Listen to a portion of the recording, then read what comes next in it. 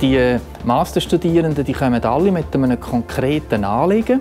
Und das konkrete Anliegen, das wird dann in dem Coaching-Gespräch behandelt. Und das sind natürlich zum Teil Fragen, die sich die Masterstudierenden vielleicht, wenn sie einfach auf sich selber angewiesen sind, ein bisschen weniger stellen.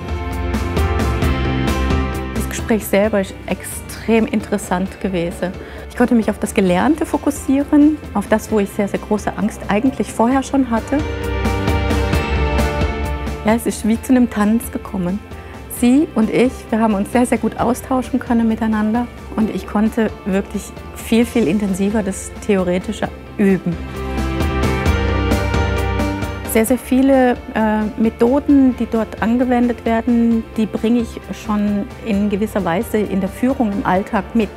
Ich habe auch die Möglichkeit, dem Coachie gewisse ähm, Sichtweisen anzustoßen, die auch aus der Arbeitswelt kommen, aus einer vielleicht ganz anderen Arbeitswelt.